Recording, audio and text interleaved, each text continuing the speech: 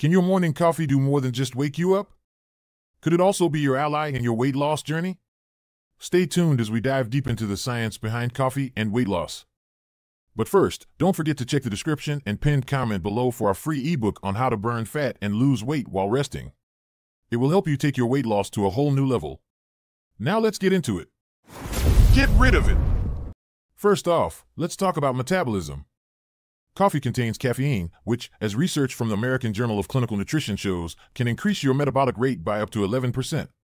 Essentially, it means your body burns calories faster. Imagine that, burning calories while enjoying your favorite brew. Next up is appetite control. Studies, including one from the Journal of Nutrition, have found that coffee can influence ghrelin levels, the hunger hormone, making you feel less hungry. So, a cup of coffee can actually make you eat less during the day. Here's where it gets really interesting. Coffee is not just about caffeine, it also contains chlorogenic acid. This compound can slow down the absorption of carbohydrates, as noted in a study done back in 2007. Less carbs absorbed, less fat stored. And let's not forget about physical performance. Caffeine increases adrenaline levels, preparing your body for intense physical exertion. It means you could potentially work out harder and longer, leading to more calories burned, as highlighted in research published by Sports Medicine. Now, how should you drink your coffee if weight loss is the goal?